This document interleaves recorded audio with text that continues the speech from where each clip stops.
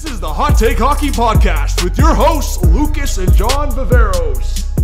Hey everyone, we're back for the Hot Take Hockey Podcast, episode 17. Myself, John, here with Lucas, and I'm feeling a lot better. If you guys listened to the last pod, I was uh, I had a rough week. Uh, still feeling a little rough, but the voice is back, uh, so I'll be able to do a lot of the stuff that I like doing. But uh, Lucas, man, you uh, you led the last pod. It was a little bit of a short one, a little longer one here. We'll still keep it somewhat short. But how you doing? How's the last week? And man, everything's gone on your face, buddy. I How's it know, man. I know. Well, first things first. I'll uh, I'll say this on behalf of all the listeners too. We're happy to see that you're back, healthy or healthier at least, and, yeah. and trending over to that, uh, trending towards that 100. percent So that's that's always good to see. Uh, in regards to me, man, yeah, my stash is gone. Uh, went right down to the woods, so we'll start growing it back uh, for the for the whole beard look that I usually have going. But it's right Yeah. down to the wood. Good cause. Um, yeah, another successful November. Um, great to see all the donations come in and stuff. So that that was awesome. Uh, good month of November and on to Christmas and the holiday season, buddy. Oh yeah, holiday season's rolling in, and uh, yeah, we're gonna talk about a bunch of stuff on this pod. So uh, for uh, yeah, whatever we'll obviously talk about in the leading pods, but whatever you guys celebrate, uh, the holidays are here. So um, yeah, I think for hockey season, we we talked about it after the last pod, like American Thanksgiving, what where the standings are at. As Leaf fans, seeing what Marner just did, 19 games, uh, Jason Robertson, 18 games, which is really cool. And we're going to see the Leafs. We're recording Monday night here. Leaf Stars matchup tomorrow night, Tuesday night. Lucas, when we're seeing stuff like that, and even the Leafs played Tampa, Stamkos, pretty cool. I mean, starting with the Mitch Marner one, like 19 games, we're seeing it. Like, uh, what do you think on that moment? And just he scored a shorthand goal to get her done.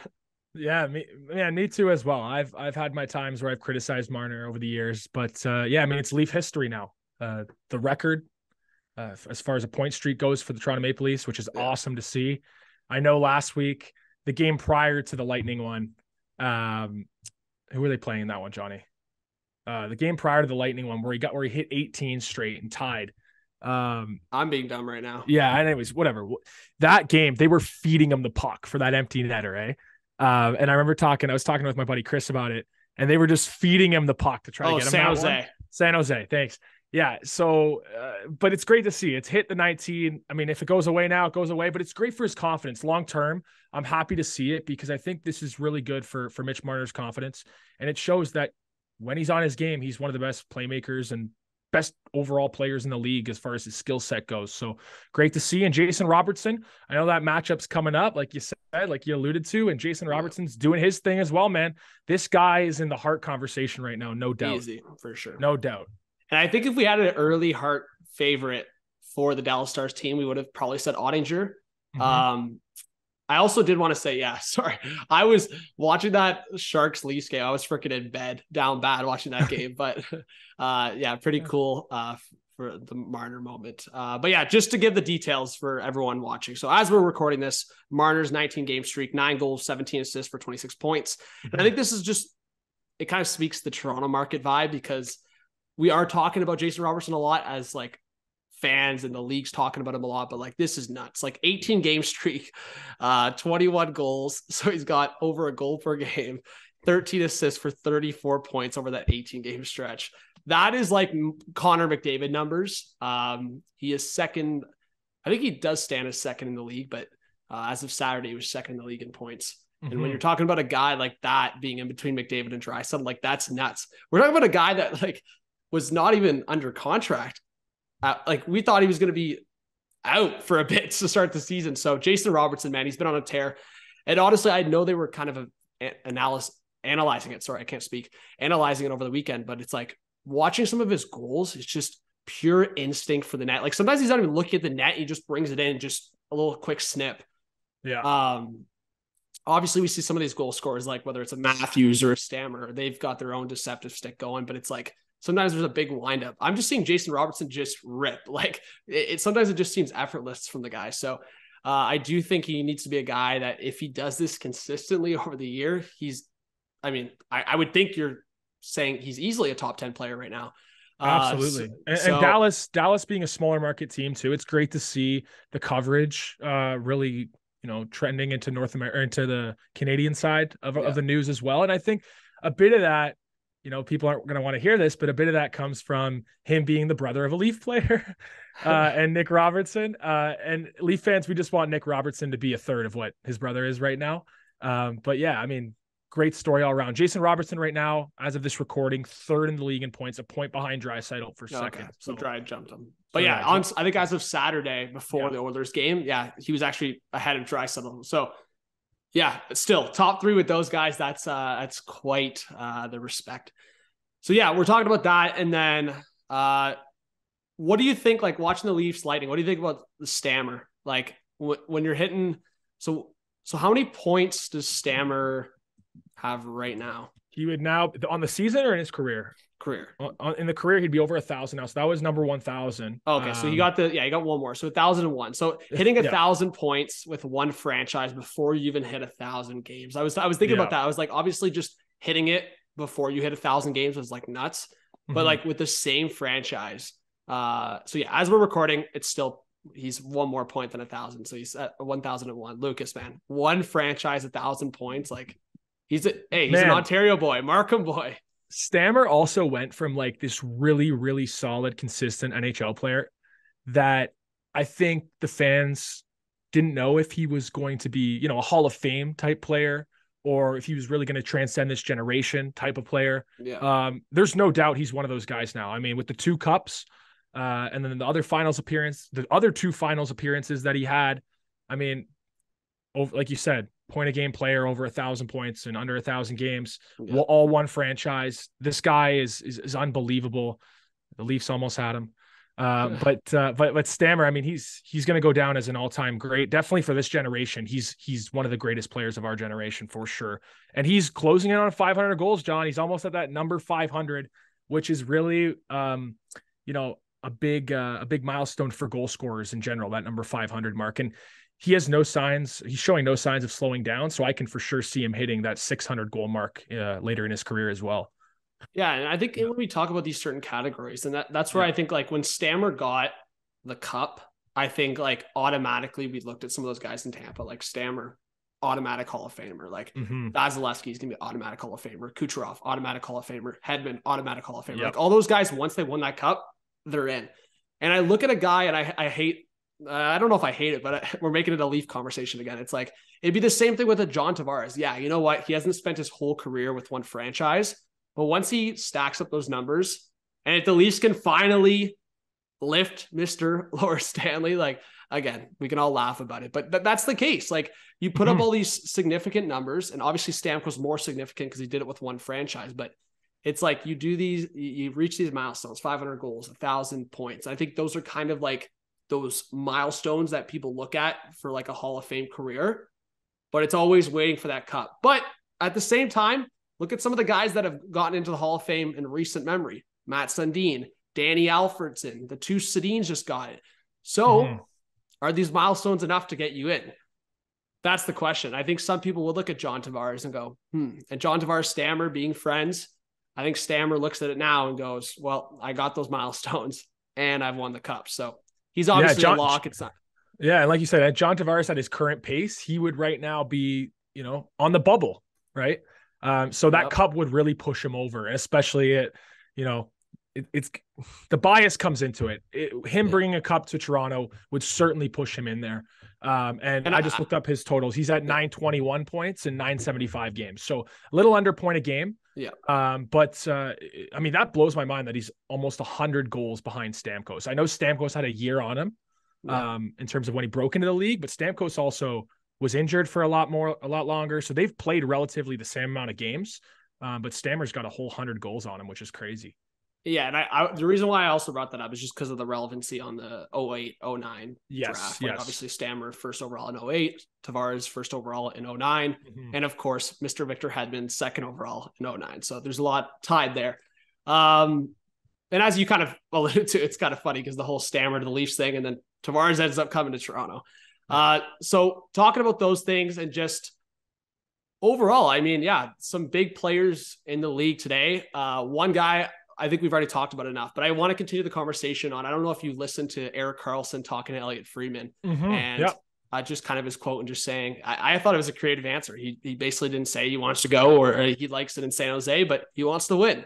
So I think that's interesting. I think the fact that he kind of put that in there, if San Jose was to go through the rest of the year and just keep stinking it up, I would imagine Karlsson will have a kind of type of way, especially the way he's playing. And I think if mm-hmm. Was to get traded, we're not going to go back to the conversation because we've talked about where we could see him. But the one thing I will say on this pod, because I kind of want to just leave it in people's thoughts, is that if Karlsson was to get traded, I know for sure that this guy will not want to be put into a situation where he's battling for the number one D man. He had to do that with Brent Burns, and his production was showing. Now he's by himself as the sole number one guy. And look what he's done. He's absolutely ex- exploded. So I will just say, if he was to go to a situation, and I wonder if it's a situation, I, as I suggested, like a Dallas, Heiskanen's there. So Heiskanen, does he see like that's where I'm at? So keep that in mind. That's all I wanted to put out there. Yeah, and I'll throw it in that uh, I agree with all those points, John. But I think that ability to win, like he talked about, might uh, you know that might be more important to him than that number one D job. So maybe a Dallas is kind of he compromises on maybe a number one D position, but they're a great team right now, so they could go for the Stanley Cup, right? Let's just quickly touch on Cassidy's return to Boston. I know you threw that in there. Just yep. quickly, also talking about those two teams. I mean, I, I would say Vegas and Boston I can't see how like I can't see how you can't look at those two teams and go, they're not cup contenders. Like they are. they're they're deep playoff teams right now. Uh, for you on that situation, Cassidy going to a different team, the Bruins getting a lot better, but Vegas with a big bounce back year. Kind of what's your thoughts on those two teams in that storyline? Yeah, I'm always uh one for the revenge games. I know you're one of those guys too, John. So I see Cassidy going in there and getting the job done uh in this game, but we'll see how it goes. Uh Vegas and Boston both top, near near the top of the league, so both of these teams are definitely cup contenders and we've talked about Vegas a ton because of where not just ourselves, but where a lot of the media and other fans had them slotted coming into the year and they've just blown expectations out of the water. Right now, they're the clear front runner for that Pacific Division. So, yeah, um, Jack Eichel is listed as a game time decision tonight. I think he's going to go. I think he's going to play because it's in his. Uh, you know, he's a U bot. He's a Boston guy, so I yeah. think he's going to play that game. But we'll wait and we'll wait and see. But that's a game I'll certainly be watching uh, as we record uh, the, the, on this Monday evening. That would be a fun Cup final, though, eh? Oh, oh yeah, Boston, the drama, Vegas. man, the storylines. Yeah, that would Eichel, be cool. Cassidy, all yeah, of that. That'd be crazy. And and yeah. Pietrangelo played Boston in the last Cup final. Like, yeah, I yep. could probably throw in a couple other storylines in there. But yeah, no, it's interesting. I think those are the two two of the best teams in the league right now, uh, for sure. Um, I do want to transition this into kind of a again, this has become a Vancouver podcast a little bit at times this year. I really, do want to really go quick, really quick, really quick though on yeah. Boston. I wanted to ask you one thing. Those jerseys did drop, the Winter Classic ones, the Boston and Pittsburgh ones. Have oh, you yeah, seen yeah. those ones? I did see them, yeah. And what are your thoughts on them? I know the, the Bruins one, they're using that Pooh Bear again. Or no, I don't think it is the Pooh. Is it a Pooh Bear? It's one of the bears on the it's front. The smaller one, yeah, yeah. Yeah, the smaller one. I really like the, the reverse retro is the big head. Yeah, I really like the Bruins one. I think it's a clean look. Um, just reminds me of a classic Winter Classic yeah. jersey that we've seen in the past. I saw a couple concepts I like better, but yeah, I still don't yeah. mind it. The Penguins one for me, I don't know if it does it. Oh, it just reminds me too much of the Pirates, uh, the logo with just the classic P. Yeah. Um, but you know, uh, going to be a sweet game at Fenway. So, uh, just programming note for everybody listening because I didn't even know this. Um, it is on January 2nd this year. So it won't be on the first. You know, make sure you note that in your calendars. It ain't on New Year's Day this year, which is yeah. a little different for the league. So January 2nd on that one. Yeah, I don't mind them. I think uh yeah, the Pittsburgh one definitely gives Pirates vibe. Yeah. Um but yeah, talking about significant dates, the Winter Classic, um, All-Star, and then yeah, trade deadline. So uh kind of yeah, better transition. Uh but yeah, as I was saying, like Vancouver pod, uh, I mean, it's one of those things like we've kept joking about it, but this is some big stuff. So to give people context or background if you didn't know what was going on. So was hockey fights cancer night, Saturday night. So this was all kind of a mess of a situation because we know uh, Brock Boeser lost his father uh, from mm-hmm. cancer, and that was uh, definitely special, emotional, uh, that kind of night for Boeser. And Bruce, Bruce Boudreau made the kind of decision the day before, not based on that, but it just it sucked that it was associated with that is that he was making Brock Boeser a scratch. Uh, Dakota uh, Dakota Joshua, sorry, uh, went down with an injury. So Boeser ended up going in. So he was projected to be a scratch, healthy scratch. Then he ends up going in, scores a goal on Hockey Fights Cancer Night. But everything behind the scenes is that they've agreed on that there's going to be a trade. So Brock Boeser's representative agent talks to Rutherford. They make a mutual decision that there's going to be a move down in the future. I don't know what kind of future, but then Dhaliwal comes forward, Friedman comes forward. Yes, there's been some kind of agreement where Boeser, no, he hasn't reject or he hasn't requested a trade, so that's not his own decision. But it's kind of like the guy struggled, was about to be a healthy scratch down to the third line. But boom, tonight, as we're recording this podcast, Boeser back with Pettersson. So maybe everything I'm about to say is so irrelevant because maybe Boeser, as I was saying to you off air, Lucas, maybe he ends up going off with Pettersson again. But I still think there's a chance that 6.65, two more years after this year, do they try to move it for the cap space? Then they talk about a max of a Bjorkstrand kind of return, which is a third and fourth. Canucks fans, are you really taking a third round pick for Brock Boeser straight up? Lucas, man, what a disaster. The Canucks just it just keeps on going. Storyline after storyline after storyline. And then I'm seeing even Friedman throw out Thatcher Demko's name in a trade conference. Like, what do you think of this whole situation, man? the Boeser one, we'll start there. I, I think that them playing him with Pettersson tonight is surely to try to extract value. I don't even think anymore that it's uh, you know just the best lineup decision. I think that they want Boeser to damn right go out there and score two goals um, to pump up that value before they move him, right? Um, yeah. So that that's where I think that one's at. I think his time has come and gone. I really do think he's going to get moved. I think that Brock Boeser has had so many uh, different storylines of and so many different seasons where there's been talked about uh you know a move from oh yeah it's not the first time so, we've talked about it yeah so i think this is definitely the last time we'll be talking about it uh i mean maybe not on the show because maybe this might take a few weeks yeah but uh i do think he's gonna get moved john i, I think vancouver has finally come to grips with you know what we're too inconsistent right now we don't like the way this core has been structured. Uh, it doesn't work. It just doesn't work. There's good players, but they're not working together. And I think we're really going to see the teardown and sort of a retool on the fly. I don't know if it's going to be straight to the to the to the bottoms of a rebuild, especially with the way you just signed JT Miller. Uh, but I think there's going to be a retool on the fly. And so I think Brock Boeser is is no longer going to be a, a Canuck in a handful uh, of weeks here. Well, and I also look at it as like what we just talked about in the last pod is like this Canucks situation also becomes more difficult because it's like if they're riding the line of a playoff spot, exactly how they were last year, it's like, you, how can you make those kind of moves? Mm-hmm. So I think that's why it's like that you look at the Boeser situation because it's like you're not going to make those kind of like Demko, Horvat like moves unless you're getting like this big time. The Horvat one's different. I shouldn't because we've talked about it and it's like he's a pending UFA. So they might just have to trade him. But like in the scenario of core guys, they're not really trying to trade those core guys. More specifically, like a Pettersson or Hughes. They're just not going to trade yeah. those guys. Uh, but then a Demko one, I don't think that's happening in season. And then the Horvat one's just off default if they have to move him because he just won't resign. Uh, and the JT Miller one's a whole different conversation. But that's John, where Boeser comes in. John, maybe a lot of this too stems from like I know Elliot Elliot Friedman was talking about it earlier today, but I think a lot of it might stem from this Demko injury. Maybe this was just the final nail in the coffin. Demko gets hurt, and yeah. they go, you know what, this just isn't our year. Um, let's peel it back and see what we can get for some of our players. And maybe the Demko injury, you know, you, we don't wish anyone to be hurt, but maybe the Demko injury is is uh, a chance for them, an opportunity for Vancouver to kind of reevaluate and and maybe tank for Bedard. I mean, it, it may very well very well what a shift that, that would be. Right? I mean, I would uh, look like the dummy because I put faith back into Vancouver last week, saying, "Hey, they're yeah. going to squeak in."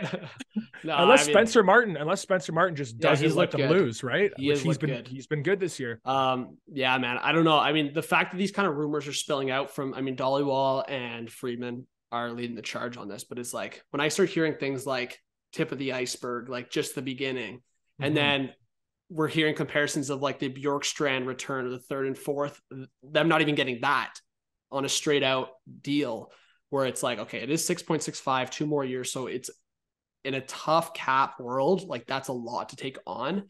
Mm-hmm. Um, I do want to throw out a couple scenarios here, but when I look at this, is like, do we not know who th- this Brock Boeser guy is? Like, yeah, he's struggling and he looks to lazy defensively, but like pulling it up here, it's like this guy's not like in terms of his potential of production every year, he's not a bum. This guy's scored almost 30 goals one season. He scored over 20 four times, uh, over 25 twice. And he almost put up a point per game twice uh, Mhm. in a season. So not full seasons, like, 49 points in 56 games, 45 points in 50 something games as well. Like, I just look at this guy, like, someone's got to take a flyer on this guy. The same way Seattle took Bjorkstrand. Uh, that was for a different scenario because Columbus just strictly needed the cap space. This, this is more of like an internal problem and, and a player struggling problem. But okay, we're making it a Leaf thing again, Lucas here. If you're Kyle Dubas, do you not call Vancouver and go, hey, we got the LTIR flexibility here. But not only that, you guys are willing to take a contract or two that's expiring this summer. Hey, Mr. Kerfoot. Hey, Mr. Engvall. See you later. Let's bring in Brock Boeser, throw him on a line with fellow American Austin Matthews. Boom. Yeah. I, I think absolutely. If you're Kyle Dubas, you got to call. We've been talking about the Leafs needing a scoring winger. And if Vancouver's going to give him away for pennies on the dollar, you got to jump in there. Oh Especially God. when, especially when you have Kerfoot with one goal, like we've talked about for it feels like weeks. We've been saying he has one goal because we have. Um, this is an opportunity for the Leafs to really address something months and months before the deadline. Like they can get ahead on this. No, seriously, right now, Lucas, I'm not. Yeah. even I'm not even joking. Yeah. If the trade, if, okay, so if Dubas is like is guaranteed that he knows Muzzin's out for the year and he knows he has that LTIR flexibility, I am like doing it tomorrow, like Kerfoot and a couple mid round picks for Boeser. Like if that's the deal, if third and fourth Kerfoot, all right, maybe, man, maybe I seem dumb, but I'm just saying like. You're talking about a guy that can score 20 to 25 goals on a year. And again, it's it's pricey. It's 6.65 per year. Mhm. But seriously, seriously, man, we're talking about the Toronto offense. Like, it, it's got to be a scenario where you're taking a shot here. You're absolutely taking a shot. And Dubas took the risk with Matt Murray and he got heavily criticized. And I don't think Vancouver's retaining any cap here. But what I am saying is like if you're if you're able to send a contract back knowing you have the LTR flexibility for the rest of the year, like this is one of the teams where I'm saying the same way we said Colorado going for that center, trying to buy low on a center. And this, and I'm about to bring up a name in a second here, but Boeser is the scoring winger that I think if you're the Leafs, you should try to buy low on big Mhm. time. I think whatever contending team, if it is a contending team, gets it on Boeser. Because I was also thinking of other scenarios where like Arizona or Buffalo as like if you want to look on the reverse side of things for Boeser is like I'm pretty sure Boeser was former teammates with Nick Schmaltz. He was also former teammates uh, with Tyson Jost. So Jost is in Buffalo right now. Mhm. Um, those two teams would have the flexibility to take on a Boeser contract, right? So I think it could be on the flip side, the same way Seattle, not being a contender at the time, went for Bjorkstrand. Um, in your eyes, do you see it going on the side of a team with the cap flexibility that's not a contender, just taking on Boeser for a change of scenery? Or do you think it's the contender type of deal like a Leafs that goes for it? Because then it's it becomes a little tougher. But Toronto has the different type of scenario because of obviously the injuries. I think realistically, I think it's gonna be the the team, not the contending team, the other side of things, because I think a team like Buffalo has the you know the more space and and, and time on their side to make a deal like that. Yeah. I think the Leafs, now that I'm you know thinking about it retrospectively, if if the Leafs were to make this deal, uh, you know there is still two years left on the contract, and that that goes for all other contending teams that would come in on this. There's still two additional years, and at six point six five, depending on how your other players are locked up, maybe you don't want to have that on the books when in Yeah. the Leaf scenarios, a Matthews comes you know out of contract. That's the one thing I'd say. That that's was the one yeah. thing that's pushing me away from that now. Um, the Buffalo fit seems like a nice one. I, I knew Montreal was floated out there, uh, but important to know Brock Boeser doesn't have a no trade clause as well. So Vancouver's going to trade him wherever they want. Um, uh, you know his no his no trade clause starts in July first, twenty twenty four. So it's it's a long ways out. Mhm. Um, but uh, yeah, I mean, it's it's such a tough deal because at his best, like you said, John, he's a 25 goal in the bank, uh, Yeah. 60 plus point scorer. And he's a scoring power play, like power play winger who can drive play as well at even strength. Like I think Yeah. he's he's a valuable player. It's just can a team like the Leafs who have allocated so much up front, do they see this working in their plans? I don't know. The only thing I'd say on like Yeah. on an opposite argument on that is like the Yeah. Leafs do have uh Brodie's contract, Muzzin's contract, and Murray's contract off the books leading into that Matthews uh Mhm, contract. mhm. Uh so they'll have a lot more flexibility Yeah. by that year. But Yeah, you're right. Also, I, I think outside of the Jarnkrok contract, Dubas has Yeah. shown he really doesn't want to commit to anything past the two year threshold, right? Mhm. Also, I feel like Vancouver, as much as we Kerfoot can be a valuable piece if he gets his game sorted, and Holl can be a bottom pair defenseman. Um, for Vancouver, does it make sense because both those guys have a year left? So is this a situation where they take them on and maybe flip them again? Uh, possibly, but I think Vancouver's going to want, you know, they can't really ask for a ton uh, just based on who can take on this contract, but Vancouver's going to want something they can hold on to for past this season, right? Um, or a draft pick of some value that I would I would think has to be higher than a third, like uh, right, a third and a fourth, like that Bjorkstrand trade was just such a one off. I, I can't see something like that going down. Well, I mean, was it a one off? I mean, look at the Pacioretty trade. I mean, again, he ended up getting hurt, but at the time he wasn't hurt. Mhm, Um, mhm. So that's the only thing I think of is like we saw a couple one offs, maybe, but it could become a trend, Lucas, if the scenario of like cap doesn't go up to where it's expected, and two, if these contending teams really just if that's kind of the standard, if all of these like rental team or like selling teams versus buying teams just can't get on the same page for deals, then that's a standard that just might stick. Like these teams Mhm. might just be like, we don't care. Like we know you need the space. We'll take that player, but we're not going to give you assets for it.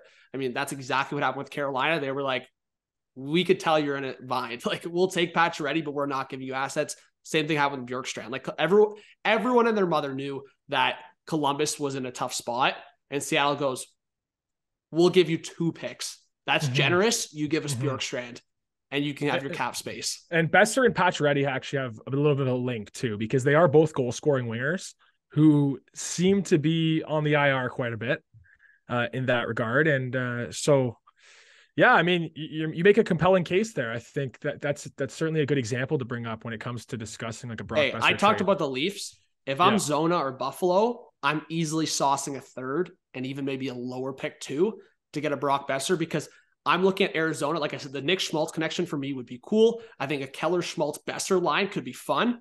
And Buffalo, as I said, I think if you're the Sabres, you're trying to build around a somewhat younger core. Boeser, like we still forget, he's 25. Like he's Mhm. still only 25. I think Boeser could be a good fit in Buffalo. So those would be my two teams. If you had a team right now for Boeser, that not one that we just talked about, do you have I mean, the one that everyone wants to go to is Minnesota because that's his hometown team. but Yeah. Friedman kind of squashed that because it's like they're not looking for offensive wingers. They're not looking for that kind of fit. And they're obviously Mhm. money tight with the Parise and Suter stuff. Mhm. Um, I mean, could the Devils? I, I I don't have their cap in no, front of I, me, but I I, the actually, Devils. you know, I was thinking about that. That one could Yeah. be interesting. That one definitely could be interesting, and even more so because I feel like we've we've had Severson tied to Vancouver. They maybe need a red shot guy. Like I, I like that. I honestly, and I, and, I like and that. with the Devils, I mean, with this being their first year, really looking good, maybe the organization elects to say, you know what, let's reward the players and let's try to go for it, go for it this year, right? And we've talked about it too with the Devils. Is like, yeah, if they're going for it, they're kind of in the early stages of like, again, making it a Toronto thing. Like when Toronto was early on, they weren't making those big deals. They traded a second round pick for Brian Boyle, right? So like Yeah. this could be the kind of move for the Devils, like sauce a third round pick, send maybe one of those contracts, bring in a Brock Boeser. That's your addition for the playoffs. Leave it as, is. yeah, right? it's it's like a it's like a let's reward the team. Let's see what we can really do this year and push for something. But it's not necessarily expected this year, right? So yeah, I like that. I like and that. Jack Hughes saucing Brian. Boeser on the power play. I think that would get him going a bit. Oh yeah, man. Oh yeah, adding Boeser to that top six would look nice. I gotta say. Okay, so any last kind of wrap up the pod? Any last? Oh, okay. So let's talk quickly.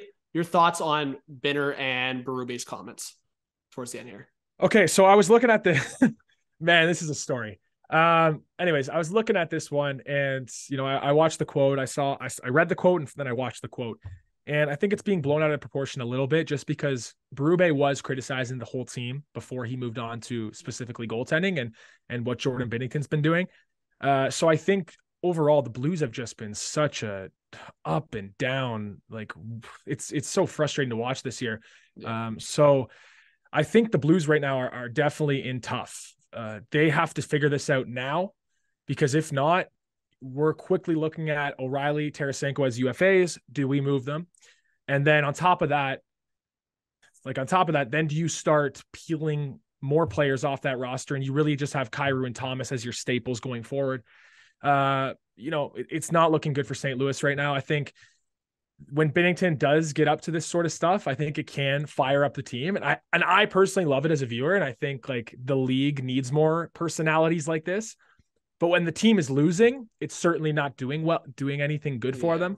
Um, so eh, yeah, it's, I think that's the key, that the key part of it. I think that's the key Yeah. part is like it just it has like the backlash effect in terms of like not so like Blues fans, the Blues organization, coaches, players, everything can back like so Binner loves doing that stuff. He gets into it. So everyone in the organization can back that when they're doing well.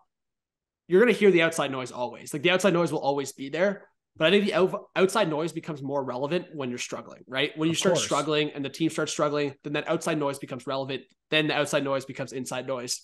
Mhm. And that's kind of how it goes. And that's kind of to allude to what Berube said. And it probably was taken, I don't know, bigger than it was actually. But I'm sure there's Mhm. going to be a conversation between Berube and Binner. Hash it out. Enough of that shit. And I'm probably, if it's my prediction, Binner's starting tonight, as it Mhm. shows. It'll probably be back to normal. Binner will probably try to stay a little bit more low key. At least I should. Hey, maybe maybe we're recording, you're watching this, listening, and Binner's done something else. But I think you love it in the personality. I think it's it, it brings out something we don't see in hockey too often. Uh, but obviously, it's just yeah, it comes Yeah, with when well- you're struggling, then it's different. Well, it also shows, you know, you got to also add this to it that it does show that, you know, he's frustrated with what's Mhm. happening and it shows that he cares, right? And I Yeah. find that sometimes with this Blues team, there's certain players, you know, I'm not going to go into who I necessarily think, but there are certain players that it looks like they're kind of just doing the motions out there when they're struggling. So, um, you know, hopefully this lights some sort of fire out under their ass and they get going this week with the Rangers. I know they have a back to back. They play tomorrow as well. Uh, and they start turning the corner here. Because if not, this could be uh, not the Blues year, and there could be some, you know, some drama, and they could be in a lot of our future pod episodes for the wrong reasons. So yeah, Blues are struggling. Obviously, the Binnington storyline, but let's just talk about goalies overall. So the Cal Petersen situation, he gets put on waivers, sent down to the AHL. Like that's a five million dollar contract. That contract that the Kings just handed him. Uh, obviously, the Edmonton Oilers, another storyline. There's a lot of goalie storylines right now, and like Jack Campbell continuing to struggle, Stuart Skinner taking a bit of the reins there. Uh, you can talk about Spencer Martin in Vancouver. Demko struggles, and now he's out for like what six weeks? Like he's going to be injured. So Spencer Martin's taking the reins. It is six weeks, right? I think. Yeah, yeah, six weeks, six weeks. Yep. So it's like you're seeing all these storylines of like, I don't, don't want to say pure out backups because obviously LA has quick, and like I think Mhm. Stuart Skinner's shown he he can play en- enough, but like even the Spencer Martin one came out of nowhere. Like, what do you think about some of these storylines, man? I know we just talked about Binnington and obviously like Yeah. Even Markstrom, right? Like Vladar is yeah with right Vladar, a another. Yeah. perfect example. So LA is such a fascinating one because they've obviously been married to Jonathan Quick, um, and maybe too long just because of the nostalgia from the cups. Yeah, Um, but they, if you don't remember, like they had Jack Campbell, they had Darcy Kuemper for a little bit, they had. oh god! And you know what another They had Martin is? Jones, like Yeah. they had all these guys, and they've let them all go. Um, and so with them doing that, you think, okay, so now they're going to lock up Petersen. So Petersen must be a sure Yeah. bet because they've let all these other guys walk uh, or trade them out the door. And then they give Petersen this giant deal. And, you know, at the time it was already commented that, you know, he's a young goalie, but it's a little bit quick to jump to a $5 million AAV. Um, and now he finds himself in the minors and he's battling to find his game. But uh, yeah, I mean, I just think thinking Jonathan Quick is still your starter is really Yeah. where this problem started, right? When it comes to LA. Well, I was just going to say the other example is Yeah. uh, Carolina Kochetkov starting over Oh, both yeah. uh, Raanta and then Andersen uh, being Yeah. hurt. But yeah, you're you're you're right, man. Like it's that's a problem in itself when Quick, but like Quick's shown at times when he's healthy he can be good, but it's like, yeah, I think But they like jumped he's the not gun. even he's not even giving you like most I'm pretty sure uh, his stat line he's always around he, he hovers around 900 like the last like 4 or 5 years. So he's not even giving you like league average goaltending. So like why would you uh, marry yourself to Cal Petersen? I, I guess the logic was Cal Petersen was going to supplant him as the number 1. Um but that just Yeah. seemed far time and now it's showing. And so you know, our, our discussion was going to lead into all these goaltenders that are struggling and all these backups that have taken starters' jobs. Um, could there be a scenario where there's a goalie swap? Um, yeah, like a like a straight up trade, hundred percent. I I straight think out, that- straight up.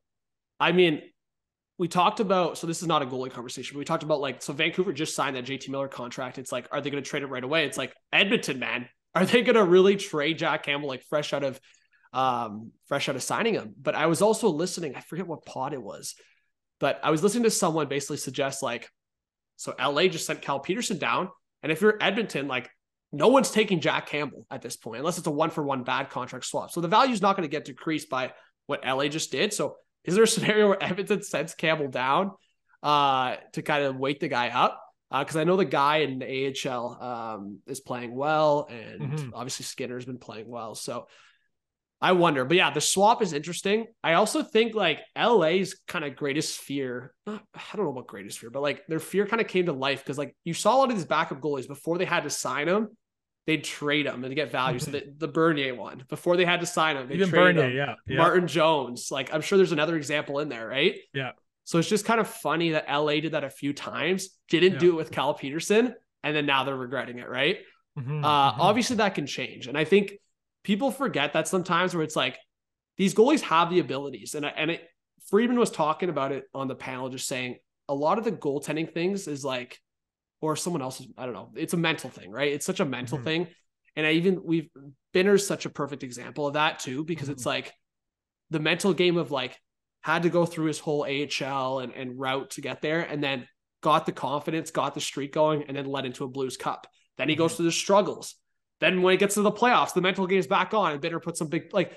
It's such an example there with goalies is like the up and down, and Campbell's such a product of that that he was put in a good situation with Toronto went on a good stretch and the mental game, like you saw Marner patting on his shoulders and Matthews always pumping his tires. Like when you're on a road like that, it's such a great mental road for a goalie. But Campbell is the epitome of highs and lows because when mm-hmm. he's on his mm-hmm. lows, he's criticizing himself. He's so like hard on himself, yeah. like like more than any fan or media member is, and yeah. and it really the whole conversation almost evolves to like goaltending as a whole, right? it's such a mental sport, like you're talking about. But has the goaltending position just, you know, it's a question of has the offense gotten better over the years, which I believe it has, but also has goaltending gotten worse, and have have goaltenders not adapted to the to the better offensive instincts of the players, and that's what I I believe in that. I really truly believe in that because there's gone are the days where there's goaltenders who have you know 920 something save percentages uh, so consistently all throughout the season where like you know I, I, was reading Jonathan Bernier in his first year with the Leafs had a 923 save percentage in like 50 games. Um, and that guy was nowhere near a Vezina trophy that year. Okay. That 923 now has you right in the Vezina conversation, right? So it, it's crazy to think about like how goaltending now it's just for three weeks a goalie can't stop a beach ball and then he's good for a few games and then there's very few goaltenders that are the elite of the elite for prolonged periods of time. Yeah. Yeah. And no, you're right. I think the outliers, the outliers, but no, you are right. I think a lot of goalies. Eh, that's why those kind of contracts, and that's why when they this the Jack Campbell contract, it was like everyone was saying, "Oh, it's like Zach Hyman, like they brought him from the Leafs. It's the five or six or whatever years." So yeah. I just think you're right. I, I think regardless if Campbell came into Edmonton and played a couple good years, it's like that's just such a dumb contract to sign. Like I was even saying at the start, like sure you might get a couple good year, good years out of him, but at that age too, he's been a late bloomer. And you know what? I think Campbell, if he was to stick it out with Edmonton here, I think at some point he will turn it around. Mm-hmm. But I think it goes back to the conversation. Like, is there some kind of like one for one goalie deal that would like change the scenario and like get a goalie more confident? I don't know if Campbell for Cal Petersen, like I was thinking about that even in my head, is like is that a trade scenario? But in division and and who says no right now? Who says no? LA probably. LA more says so, no. More so just because Petersen only has I think two years after this deal or a year left, where Campbell just signed the contract. He's older. They both have uh yeah, they both have injury concerns, kind of. But and like, you gotta, yeah. you got to think LA knows Jack Campbell as a person pretty inside and out, and knows yeah. his strengths and weaknesses to to know that they might not want to go back down that road, right? They they dealt him for a yeah. reason. I think there would have to be another incentive on Edmonton's part to make that deal happen. Uh-huh. Um, it's yeah, Campbell's five point five right per I think, and Cal Peterson's five per. I think that sounds right. Mm-hmm. So the fact is, Campbell has to turn it around because yeah, I mean I don't see another goalie swap happening unless it's like I know we just talked about Binner, but it's like there's going to be a few goalies that are in these trade rumors that they, it really has to be another contract going back the other way. So if it's not a goalie for goalie swap, it's going to be a goalie for another contract. Yeah. Quick quick correction. I did just look it up. Jack Campbell is actually a five million cap hit. Oh, five. Um, so Jack Campbell and Petersen have the same cap hit. same cap. Um, okay. But like you said, Petersen's got the two years after this year, where Campbell's got four more after this Yeah. year. So that's a bit of a yeah, that's a bit of a hurdle right there. And like you said, Campbell is quite a bit older. Uh, he's already thirty. okay, I think I had um, five point five in my I think that's what he was requesting. I think they got it down to five. Actually, But- his sa- his salary this year says is listed as five point five. okay, Um, there you go. Don't where you're pulling it from, but but yeah, man, like I would love to see a deal where it's like a high, you know, a five six million dollar goalie Yeah. switching for one because it just creates so much drama and like the odds are either you know what if both succeed? It would be so cool to see, um, you know, both both guys all of a sudden turn it on, you know. Um, especially Yeah. you know Jack, the Jack Campbell being a former Leaf, like he always has a soft spot in my heart. Um, but but Mark, Dubas- no, Markstrom's another one, man. Like I, I would, Yeah, yeah. I would, I wonder, man. I freaking wonder. Like, there's so many out there that would be hilarious. Like Markstrom. I'm not saying this would happen again, but it's just funny to talk about. It's like Edmonton was going hard after Markstrom in free agency. I don't know. I'm not throwing that out there. Markstrom for Campbell, imagine. But uh What about Sergei Bobrovsky? He's even been supplanted by uh Spencer Knight. That ship sailed, right? Like that that that cap hit's just never gonna get moved at 10 well, mil. uh I mean, frig, man. I don't know. Would uh would Calgary do a Markstrom and Lucic for Bob?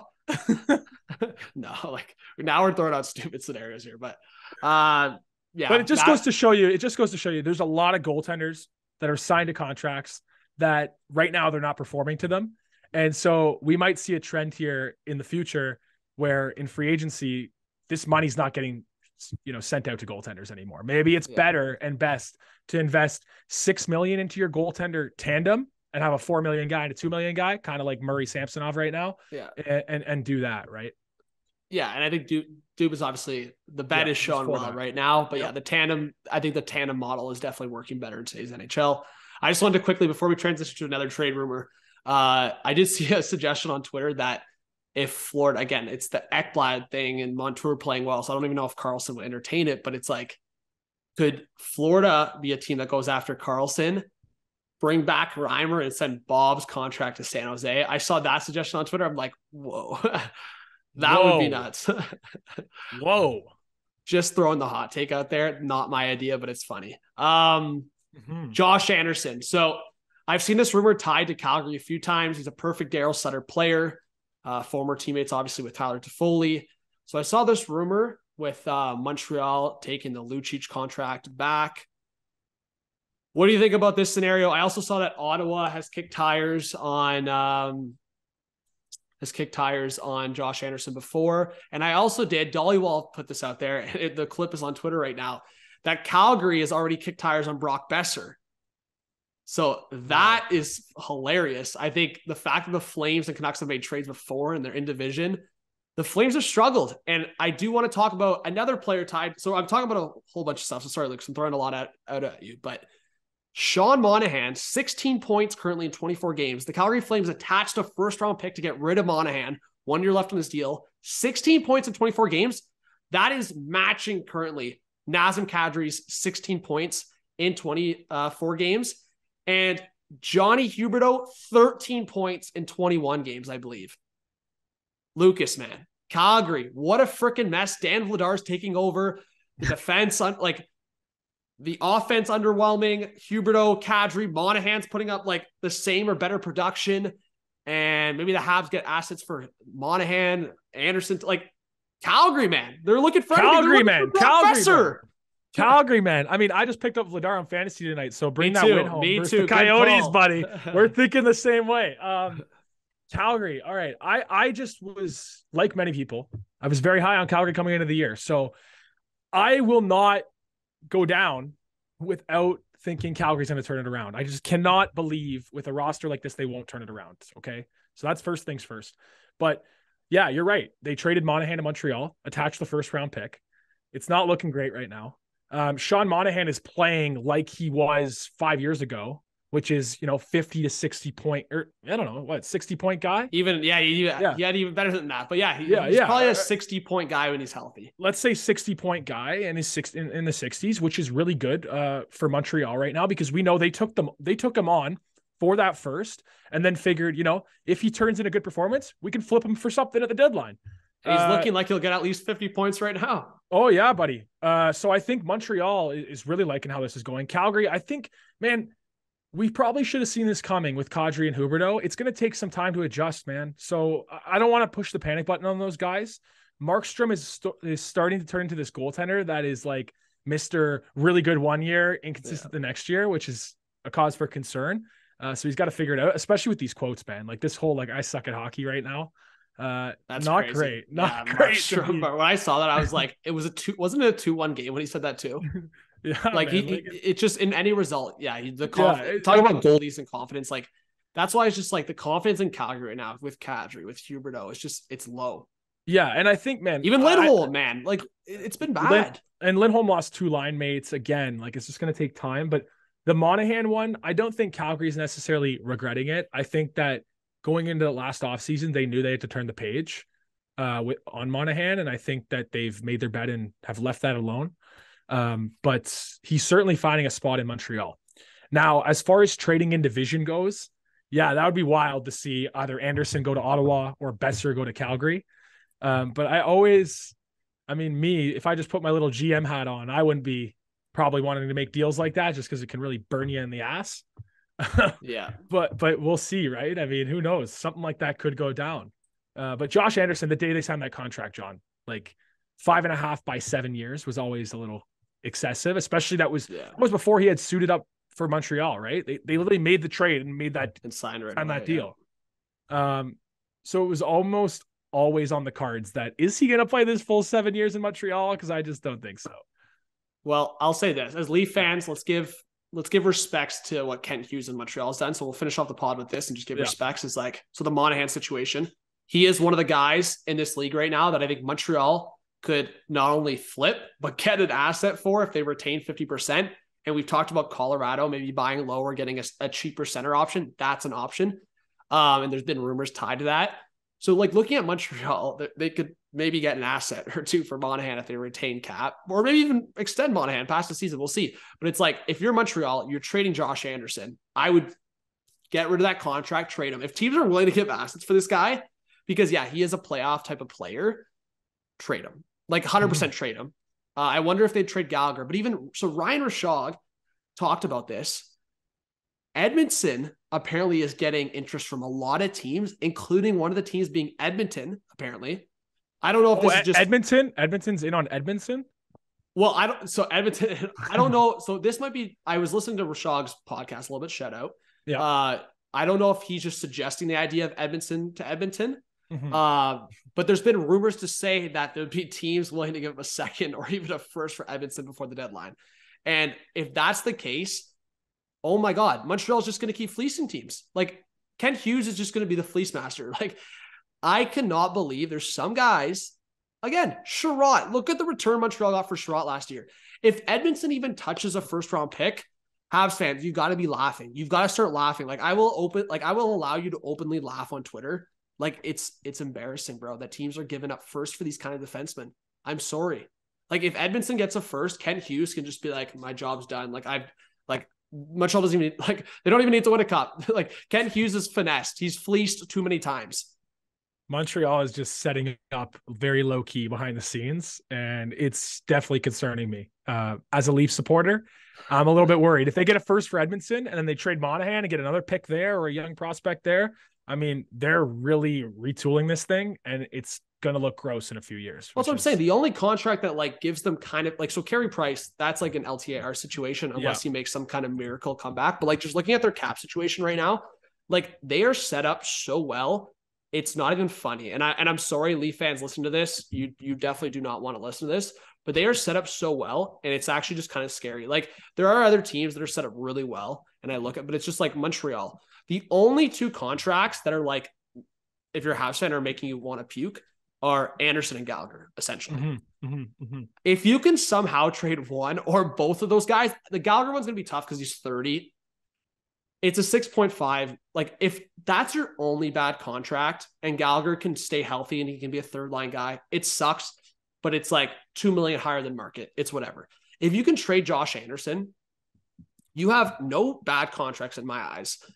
Like whatever. Armia's had his struggles, whatever. 3.4. I'm sure you can trade that when he bounces back. Outside of that, David Savard only two years past this. Matheson, I think at that deal, if he plays well for Montreal in the top four, like that's fine.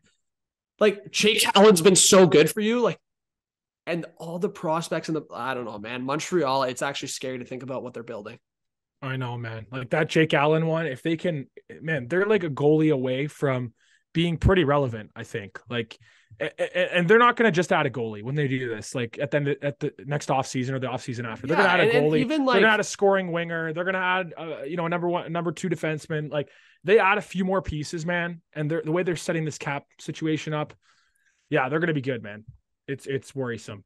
Yeah, and they have they have a I would say three or four defensive prospects that haven't even touched the lineup yet that are good, but it's like they have three or four young defensemen that have been good, and Kaiden Guhle's been one of them. So, uh, and they only got two years left on the uh, Karl Alzner buyout, so that'll even free up some space. Yeah, yeah. I do got to give respect because I was kind of I wasn't hating on the Guhle pick at all, but I was kind of like, I don't know, I wasn't hyping it up, and he's looked good. He's twenty, he looks good. Respects. Um, so had to finish off the pod, guys. A little Habs talk here because it's happening. There's some behind the scenes. Kent Hughes is taking dubs, and there could be a few more dubs along the way. All right, Lucas. Anything else to finish off the pod? No, I think we're I think we're good to go. I mean, moving into the holiday season, everybody stay safe. Yeah. Um, spend time with some loved ones, and you'll hear from us uh, every week as per. Yeah, I do want to apologize. Obviously, coming off the sickness here, I'm still a bit sick. Um, my words got crossed up a few times in here, just uh, just based on that. But I do appreciate it, guys. We both appreciate it. We both appreciate you guys listening. Make sure to check out the pod on Spotify and Apple. I do post, if not the full, uh, for the most part, I've been posting the full episode, but for like last week, again, I was sick. So I just posted one clip on YouTube of the pod, but uh, for the most part, we'll post the full thing. So YouTube, Spotify, Apple, the Hot Take Hockey podcast. Lucas, myself, John, thank you so much for listening and watching. And we hope to see you on the next one. Have a great one. Peace. Peace.